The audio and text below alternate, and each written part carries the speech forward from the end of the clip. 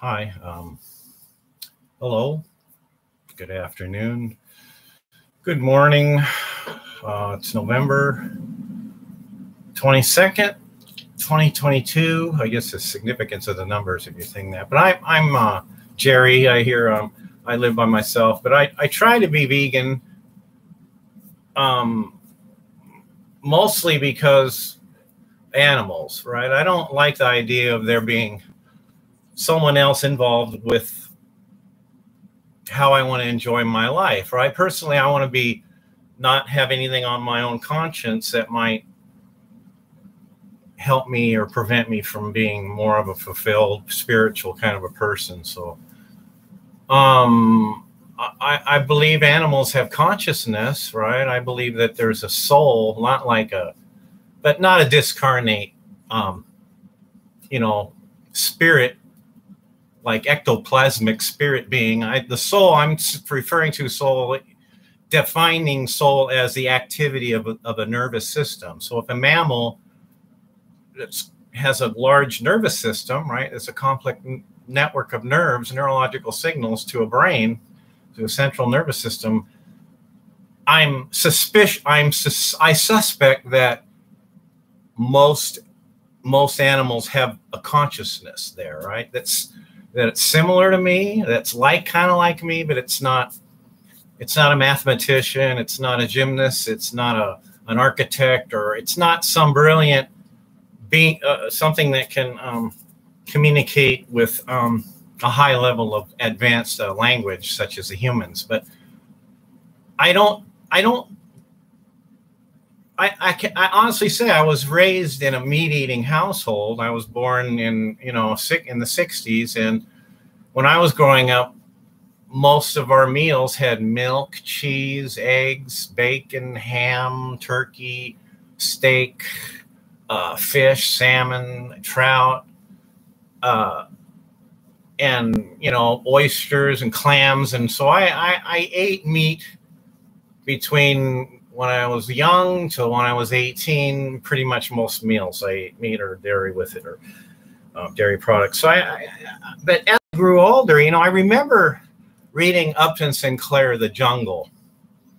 So I had a I had somewhat of an understanding of the environmental impact of, of the feedlots. You know I used to go through go up Highway 5 in California and drive through all these feedlots. So it was kind of like that was an eye opener for me seeing all these cows out standing around in these pens.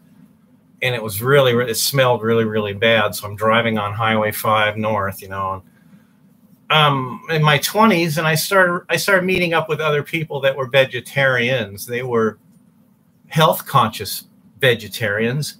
So they'd like make, you know, like wheat bread sandwiches with sprouts and avocado and tomato and and um, cucumber slices and they were eating a lot of salads they were they were making beans right so they had a pressure cooker they would make all their own beans and they were vegetarians but they still ate eggs and dairy so it wasn't it wasn't like they were they were Hare Krishnas. I knew I met up with a, a person who was a Hare Krishna this for a day. I spent a day there learning about the temple uh, in, in, in Venice, which is near Culver City, Mar Vista area, and if you're in Southern California.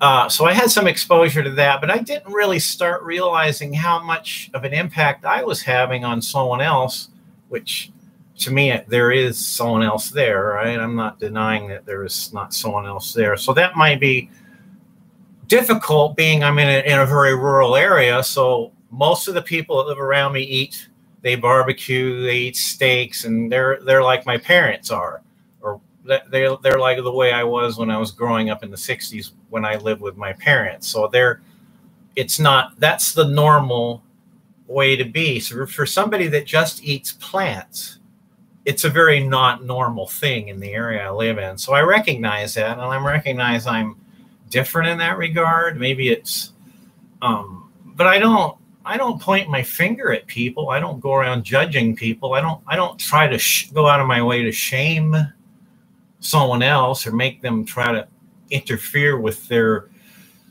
um, diet or their where how they want to live. It's mostly I'm this way for personal reasons. So there's no um if if I was an activist and I went to like PETA outreach and um, wildlife, uh, I volunteered my own time at an animal shelter or uh, uh, um, I went and did like community service in that regard for um, at the at the pound at the kennel, right, where the county takes unwanted animals. And people just drop off their animal. They have a pet. They get a pet. Oh, let's have a pet. They have a puppy or kitten. It's cute, and they like it. And then they they say, I don't want it anymore, and they drop it off. You know, there or they they they they get put in their car and they drive to some neighborhood and drop it off there and leave. Right, leave their animal there or they're just like they don't feed it anymore and they let it outside and it wanders off. So there's a lot of problems with animals that are pets, right? So you got to buy pet food for your cat or your dog. So even a fish or a bird or a carnivore animal, if you if you have a gar- if you're a guardian to an animal that's a carnivore, you're you're you're you're still buying slaughterhouse meats, you know, and and you know. Uh, so there's a problem with that. There's a problem with also geographical location of somebody that's living in a very remote northern, um, far away from the sea. They live in a very northern area where there's only like seals, right, and, and walruses, and maybe there's like um, penguins and you know uh seabirds and a lot of fish, right? So they have to subsist in there wherever they are geographically on that kind of diet. Or there's other people that were just they were they live in areas where that's what their dad and their mom did and they make their living by that raising the animals breeding the animals culling the animals. Um, and they've their family after gen- many generations of their family has lived there and they've done that kind of um, um, they've taken care of livestock for a living. So your parents, your grandparents, all your aunts and uncles do like take care of cows or raise cows and do that and make cow, you know. So I'm, you know, I I understand that I, you know, it's for me. I had read Upton Sinclair's The Jungle. and That was back in the '70s. I found at the local at the at the library at the school I was looking at. So the and the the impact of the environment was more in the '70s that was why you were a vegetarian, right? Because it was better for the environment. Um, and then I I went to a meeting at a college. I think if you're going to do any kind of outreach, maybe colleges or community colleges, or go to a town where there's a where there's a university at the town, and people are more like open-minded about things. Maybe if you just if you went on a street corner and like downtown or a very crowded area and you were trying to you were trying to uh, you had signs about um, you know animal cruelty in that and, and then you're somebody that's like sees a a PETA uh, somebody posted a PETA a, short film on on a, a social media website and you see this like animal being tortured and they're trying to get you to donate money and you're showing like a dogs in cages and they're going to be used for meat and they're showing like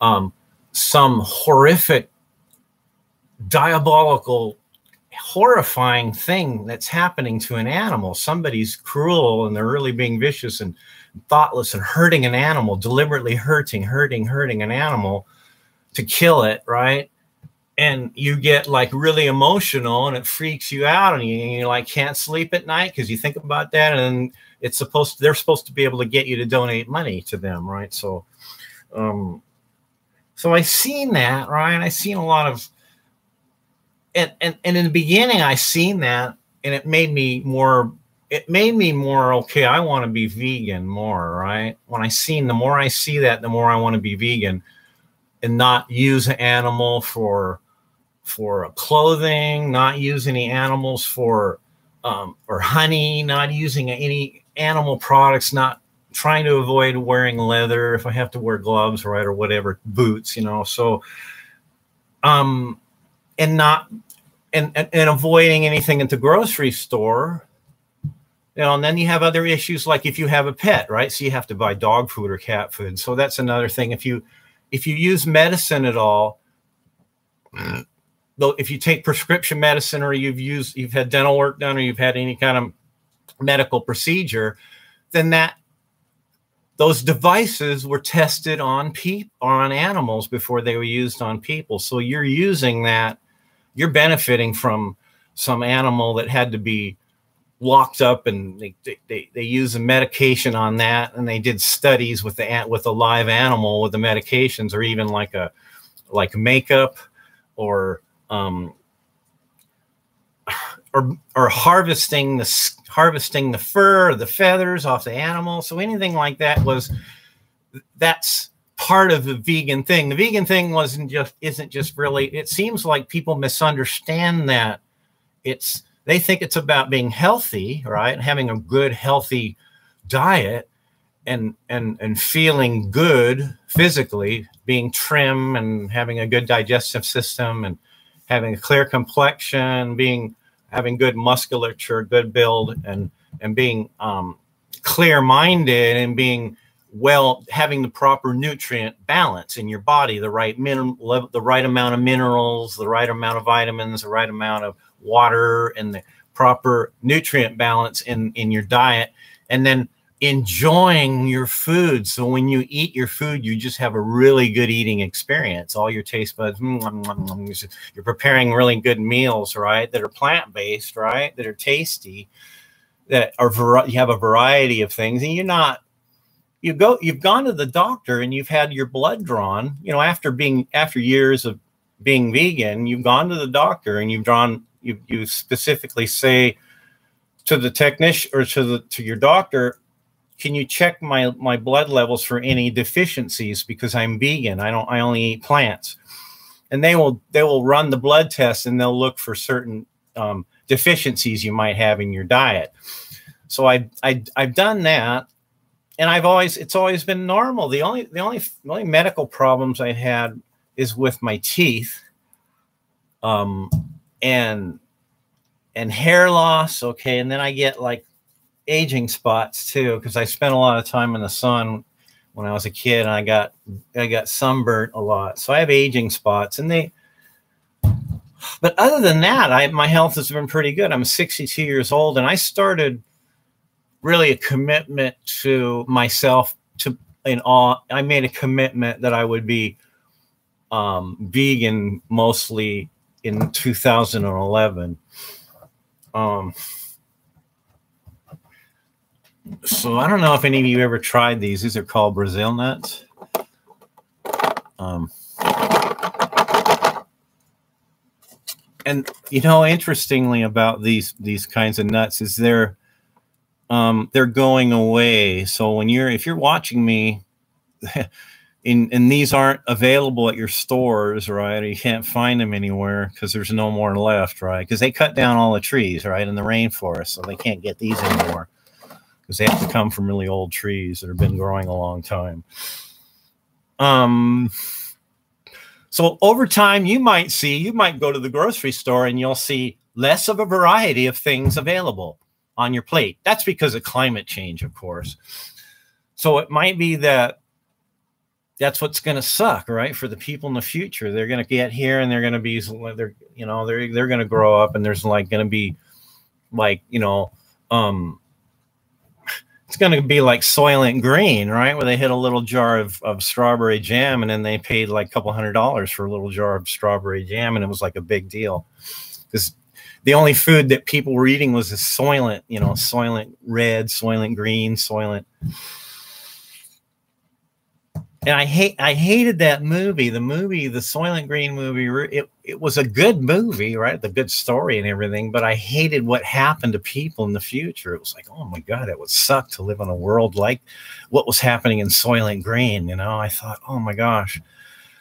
Um. So anyhow, I'm a vegan person. I think animals have consciousness. I wouldn't want to harm any any little critters, right? I don't want I don't want to live my life and be a part of hurting any any little critters, right? As least amount of harm I can make possible happen in the world, how I in my diet wise, that's just that seems like a reasonable thing to do for you know so anyhow that's why i make this channel and then I, I, it's on so it's on YouTube Red now. So I have this channel and I subscribe to anything having to do with veganism or or animal rights or plant-based dieting or any kind of any nutritional advice for ve vegetarian veganism is this I subscribe to people on this channel that are that that only post videos in that in that genre, right? So, but I paid. I'm got. I get tired of going to this channel, and then I'd see all these commercials, right? I have to go skip through the commercials and the ads, and, and they were dumb ads too. Those ads that were like cashmere sweaters, or you know, I'm not. You know, I don't. So, so I said, okay, I'll just, I'll just pay, right? I'll pay the extra money so I don't see the ads and I can just watch these these ch this channel, and I'm subscribed to vegans that are for like bodybuilder vegans and vegans that are like nutritional expert vegans and vegans that are like they're that way for their spiritual for spiritual life. They're vegans for um, and they are actively involved in animal rights. They go out on the street. They'll go out on the street, set up a table, and put a sign out and ask people questions, have a conversation, have conversations with people, try to convince them that they maybe try a plant-based diet for a while or you know try to encourage people for to get away from eating animal products or using animals so that's all i have to say and uh, uh, if if if in the future i don't know i might not make any videos on this channel because i'm i'm a very opinionated person. A lot of people wouldn't like that but i've i've noticed that since someone passed away that was close to me and now i'm i have to live without that person in my life anymore that that finding other people that are that are kindred spirits that are the same like that that believe the same way i do with food right are very very very few and far between in the world i'm not where i live i don't i don't meet other people that are that, that are uh, that are vegan because they don't because they don't like that animals suffer. Um, so I'll leave it at that. Leave a leave a comment if you want. You know, take the poll. I don't know if you're if you're interested in taking a poll. Um, and you, I may make other videos in the future. You know, depending upon my mood. Sayonara.